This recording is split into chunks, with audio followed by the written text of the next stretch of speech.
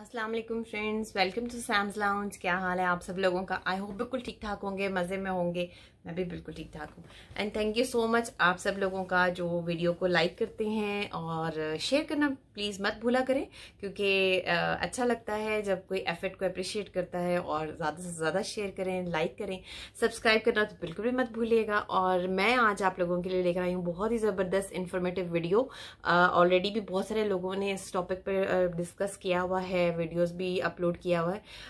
But मैं चाह रही थी कि मैं भी अपने अपना एक्सपीरियंस आप लोगों के साथ शेयर करूँ।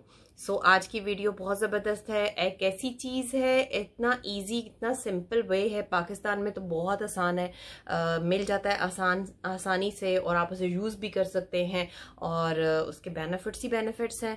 और आपकी बोन्स के लिए आपके लीवर के लिए आपके स्टमक के लिए बहुत अच्छी चीज़ है। बहुत ज़्यादा किसी भी तरह का डिसऑर्डर हो आपको स्टमक डिसऑर्डर हो जाए या कोई लीवर का इशू हो जाए तो वो बहुत ज़्यादा बेनिफिट्स है। फिर दूसरी साइड पर अगर हम चले जाते हैं उसका तो वेट लॉस के लिए बहुत अच्छी।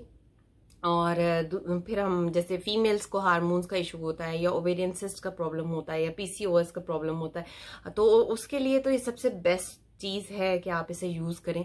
और कैसे यूज़ करना चाहिए, इससे भी मैं आपके साथ डिस्कस करूँगी। सबसे पहले तो मैं आपको दिखा देती हूँ, मुझे ऑलमोस्ट वन ईयर हो गया है मोरिंगा यूज़ करते हुए। मैं जिस चीज़ के बारे में बात कर रही हूँ, वो है जी जेल्टन प्योर का मोरिंगा पाउडर।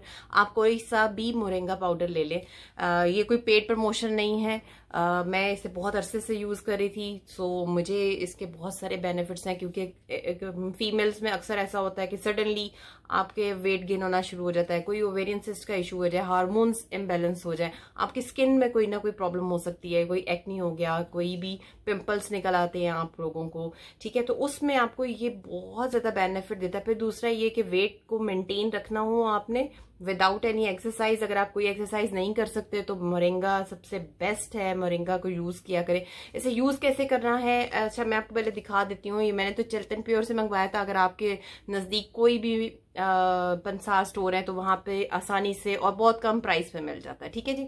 इसमें यह है कि ये पाउडर फॉर्म में है। अगर आप किसी पंसार से लेंगे तो हो सकता है उसके अंदर स्टिक्स भी हो और वो इतना फाइनली पाउडर फॉर्म में ना बना हुआ हो। या आपको उसको खुद से थोड़ा सा प्रिपेयर करना पड़े पाउडर की शेप में लाने के लिए, ठीक है? तो मैं आपको दिखा देती हूँ, मुझे तकरीबन वन ईयर हो गया है इसको यूज़ करते हुए, और ये देखे इतना बड़ा था, और अभी तक भी मेरे ख्याल से यह हाफ़ ही हुआ होगा, ठीक है? और ये इस शेप में होता है, मैं आपको इसकी निकाल के भी दिखा देती हूँ।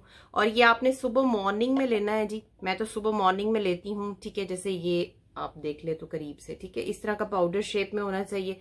और अच्छा है इसका। और थोड़ा सा टेस्ट थोड़ा सा होता है मतलब कड़वा तो नहीं होता, लेकिन ये कि बस आपने पानी के साथ पी लेना है इसको आराम से। तो ज़रूर यूज़ करें। मैं यहाँ पे इसको तकरीबन वन टीस्पून लेती हूँ डेली पहले मैं पानी के साथ लेती थी। थोड़ा सा मुश्किल हो जाता था लेना उसको क्योंकि थोड़ा सा इसका टेस्ट है किसी, कई, किसी जगह पे अगर अटक जाए ना आपकी ज़ुबान में या हलक में तो फिर आपको थोड़ा सा फील होना शुरू हो जाता है कि यार मैं ये क्या ले रही हूँ। लेकिन ये है कि इसके बेनिफिट्स बहुत ज़्यादा है। मुझे भी थोड़ा सा हारमोन्स का इशू था ओवेरियंसिस का प्रॉब्लम था और ये उस के लिए बहुत इफ़ेक्टिव है मैंने भी यूज़ किया डेली यूज़ करती हूँ। अच्छा इसका बहुत आसानी से तरीका मैं आपको ये बता दूँ वैसे तो बहुत सारी वीडियोस आपने ऑलरेडी भी मोरेंगा पे देखी होंगी ठीक है? लेकिन मैं आपको आसान तरीका इसका ये बताने लगी हूँ कि मैं कैसे लेती हूँ इसको। आ, मुझे क्योंकि बहुत टाइम हो गया इसे यूज़ करते हुए तो मैंने इसके लिए बहुत आसान सा एक हल निकाला। और वो आसान सा हल ये है कि मैंने मोरेंगा पाउडर जो है ना उसको लेना तो होता है मॉर्निंग में लेती हूँ मैं लाजमी ठीक है? तो मैंने उसको जी कन्वर्ट कर दिया आपके पास नियरेस्ट जो पंसार स्टोर है उससे खाली कैप्सूल्स मिल जाते हैं, ठीक है? इस तरह के कैप्सूल्स होते हैं, ठीक है? जैसे लाइक कि मैं अगर आपको दिखाऊँ अभी तो ये है मेरे पास मोरिंगा पाउडर ठीक है? और ये है जनाब मेरे पास कैप्सूल्स ठीक है? अब मैंने क्या किया कि मोरिंगा पाउडर को इन कैप्सूल्स के अंदर भर लिया, ठीक है?